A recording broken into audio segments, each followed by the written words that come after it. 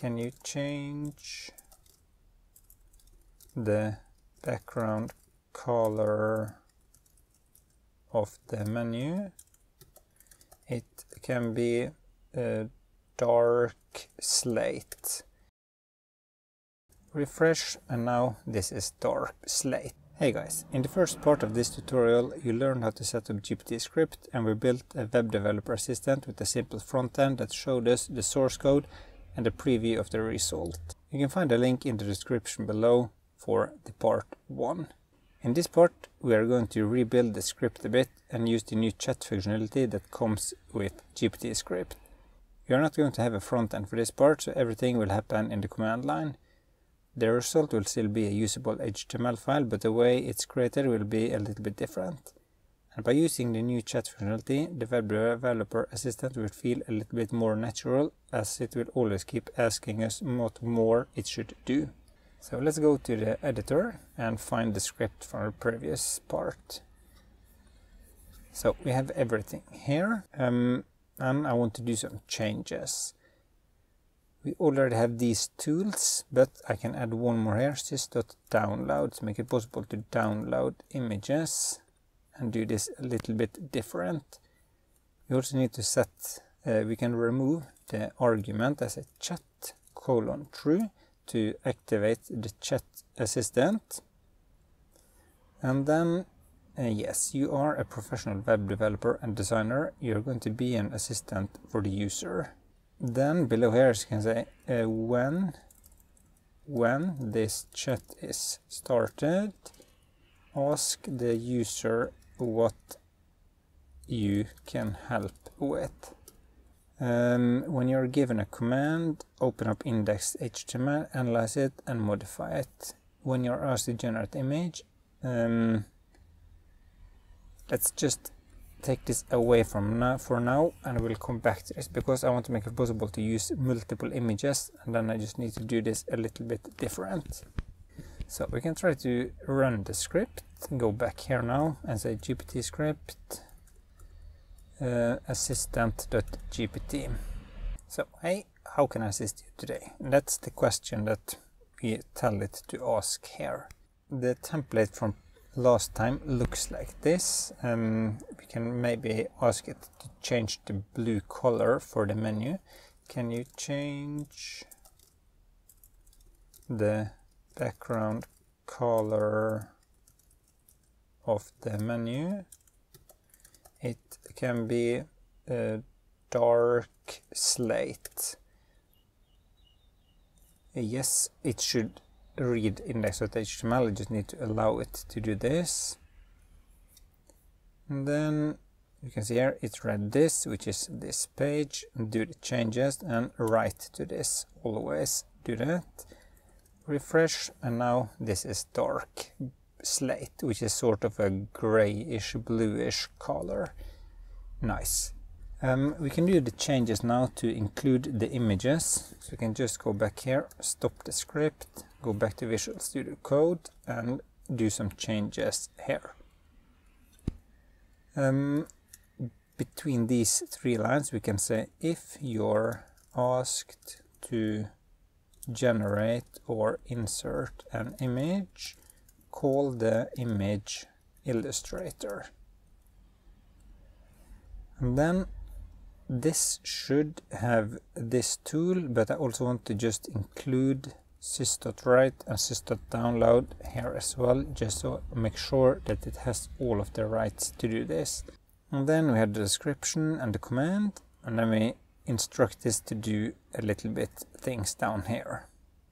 Let's just remove this and change this a little bit. You are a graphic designer help the user and do the following steps in order.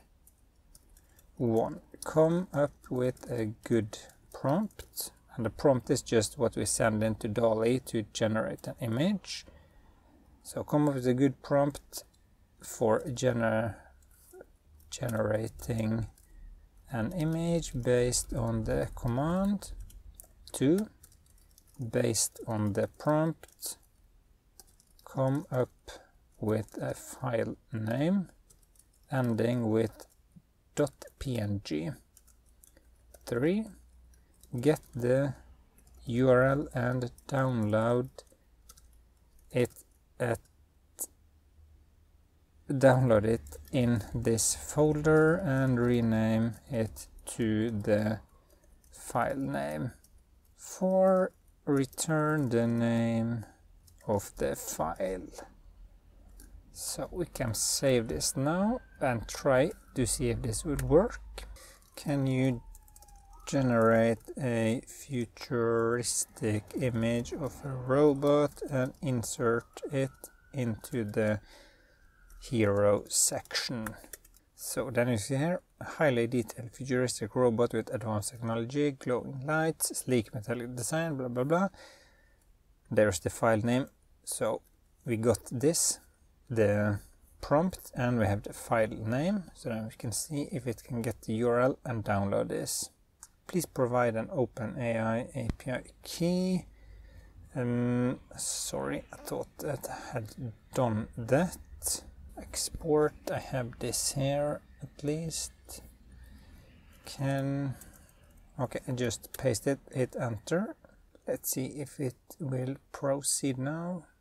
This should be the URL for the image. Then you can see pro proceed with downloading confirm all so it will remember for the next time downloading is down to futuristic robot proceed with the reading. I closed it and now I open it. I need to allow this again. And yes. Okay let's go back refresh and there you see it. Nice. Let's try to limit the width of the page. Can you limit the width of the hero section and add some space between the image and the texts. Okay, okay, yeah, it didn't look very good, but it is what it is. We cannot just keep asking this to do more stuff. Um, can you make the image smaller to fit the container? Go back and refresh perfect. So you can now see what this should be capable of doing. You can now do this with multiple images if you wanted to do that. Um, let's also say that we are tired of this page now, so we want to start all over. Let's just go back into here again, and I can say, um, can you clean up the index.html file and start a new page for me. I want to create a landing page for a new company specializing in sled tours for dogs. Let's see what we get then. Refresh. Nice. So it looks much different now. At least, or the menu looks a little bit of the same, but the sec hero section is a little bit different. We got a new section down here where I choose us and we have a simple footer. So now we know that our chatbot is capable of building a simple website. Uh, let's see what more we can do. Sorry. Let's see what more we can make it do for us. Let's see what more we can do.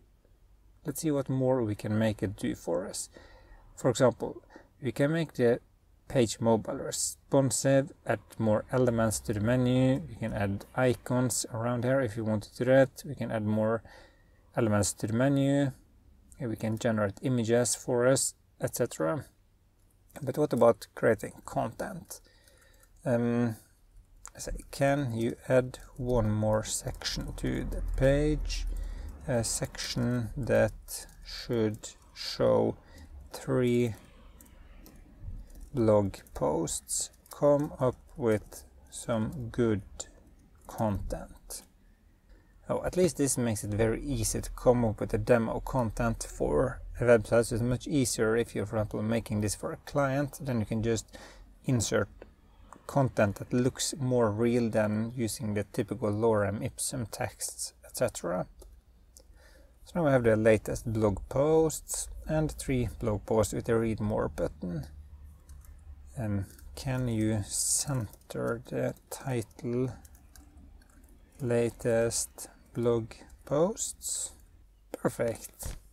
So now with the new chat functionality in place, the web developer assistant will work much faster and the results is also better.